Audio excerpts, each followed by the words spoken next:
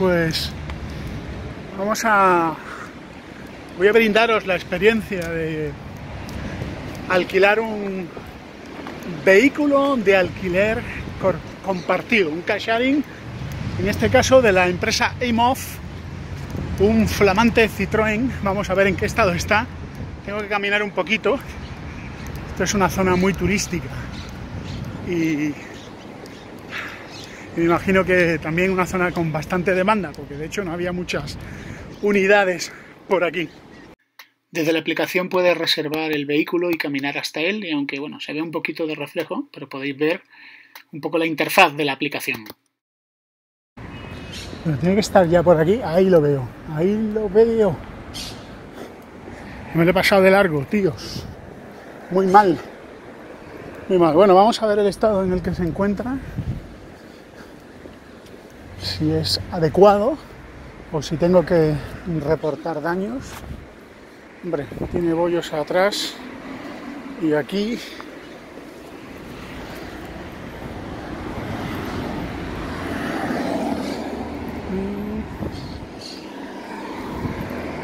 Pues sí, vamos a reportar algunas cositas.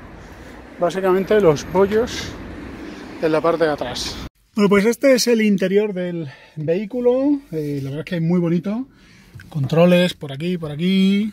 Soporte para el móvil. Más detalles. Conectores. Climatización.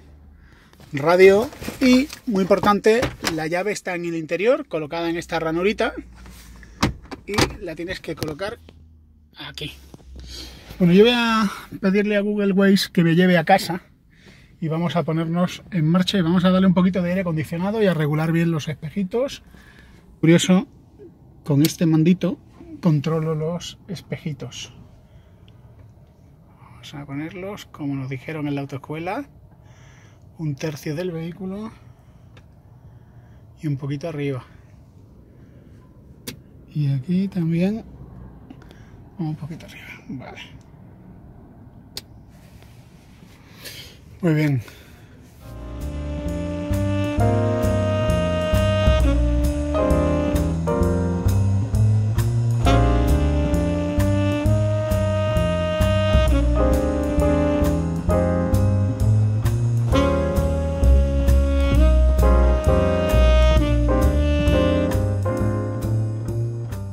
Algunas, algunas consideraciones de este primer viaje en EMOV.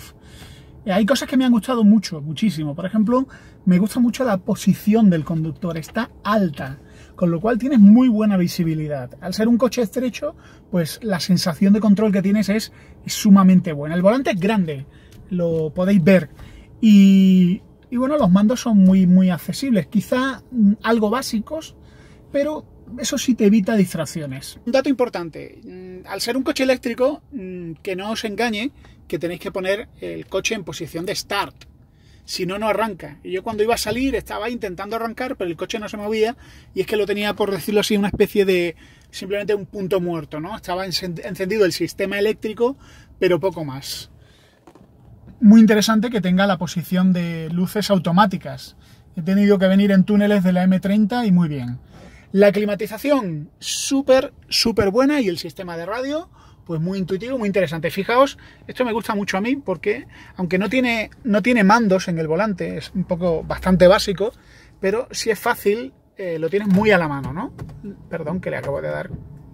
Lo tienes muy a la mano el cambio de, emisoras de radio. El retrovisor trasero mm, engaña un poco porque, claro, el coche es muy estrecho. Y eso es malo o bueno, ¿no? Es simplemente estrecho. Tienes que hacerte a las mandos. Y en cuanto a los pedales, eh, no sé, tengo la sensación de que, a ver, hay una cosa que ocurre con los pedales. El coche tiene un modo de carga, ¿no? Lo podéis ver aquí, el modo de carga, y eso se ocurre cuando dejas de acelerar, el, el coche empieza a dejar de cargar. ¿Ok? Entonces, es lo que se llama la frenada regenerativa. Sí se nota mucho que cuando levantas el pie del acelerador se frena mucho. Es decir, casi que no hay que usar el freno porque quizá tengo activado el modo eco, no lo sé, porque esto se, se produce una frenada regenerativa que es notable, ¿eh? se nota bastante. Eh, ¿Qué más? Pues poco más, los asientos son duros, son cómodos. Una cosa que sí que me ha gustado bastante del coche es que cuando le pides, cuando le pides, tiene potencia. He tenido que salir un tramo a M30, M40, tramos donde la velocidad es mayor y hay un momento en el que le pisas a fondo y el coche responde.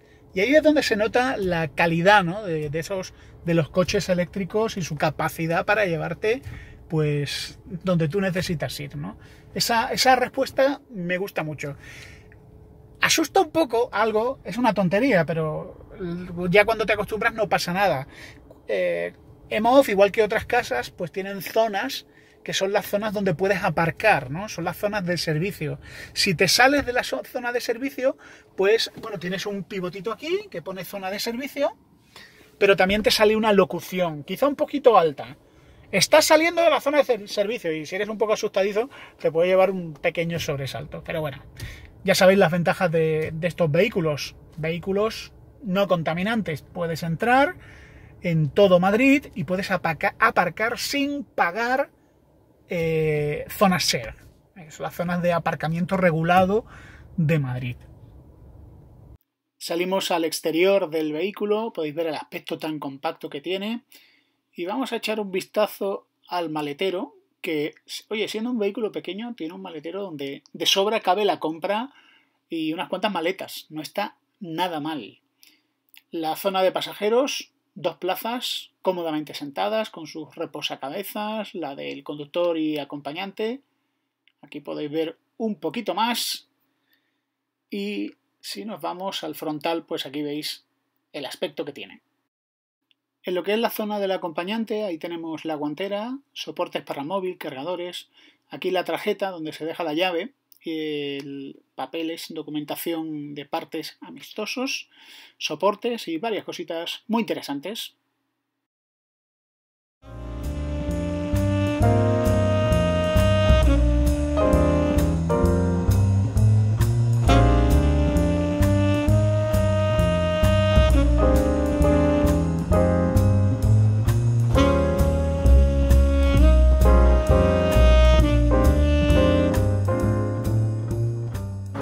Amigos, pues la experiencia de conducir un Citroën Cero como el que estáis viendo es una experiencia muy agradable, un vehículo que está muy pensado para lo que es conducir por ciudad. Y en eso es donde destaca una gran agilidad, eh, muy maniobrable, muy fácil de aparcar y con unas dimensiones fabulosas, es muy muy estrechito, lo podéis ver aquí eh, fijaos, ¿no? Acabo de aparcar fatal, como podéis ver, y todo lo que me sobra. Eh, me he ido a una zona muy tranquila de la Feria de Madrid para poder maniobrarlo y, disfrutarlo. ¿Dónde le veo yo más dificultades, más pegas? Pues donde se las veo principalmente es en el asunto de autovías. Claro, es un vehículo ligero y cuando pasas al lado de un camión, aquello... Eh, se nota que, se bambolea. También es estrecho, con lo cual cuidado con los giros cerrados, pero en condición, con una conducción legal, normal, el vehículo va a responder súper, súper bien. EMOF lo tiene con packs, con alquileres diarios y hasta donde yo sé es la empresa que más vehículos tiene en su flota a disposición de los madrileños. Y eso hace que sea muy sencillo de, de tener uno muy cerca de donde vives. Y en lo que es el interior, pues lo que comentaba antes, un vehículo que tiene un volante bastante grande y es un gusto, el tacto de cuero lo hace que sea muy muy cómodo de conducir, muy preciso, la dirección suave sin llegar a ser blanda. Y eh, esta unidad, esta es la segunda unidad que he probado, quizás he notado que tenía mucha menos fuerza que la unidad anterior. Me imagino que cada coche es un mundo. El, coche anterior tenía una aceleración mucho más rápida. Curiosamente, siendo este un vehículo que tiene bastante, bastante más batería, como podéis ver aquí, ¿verdad? El aire acondicionado muy interesante, su climatizador. Los mandos son muy fáciles de acceder, muy, muy, muy cómodos. La radio es básica. No sé si tiene entrada Eh, bueno, sí tiene Bluetooth, con lo cual no necesita nada más. Y los asientos, pues lo que comentaba, ¿no? Los asientos son tremendamente cómodos. Los asientos son tremendamente cómodos, eh, firmes, la posición al estar alta, la verdad es que se agradece un montón y son cuatro plazas. Porque dudo seriamente, no, son cuatro plazas.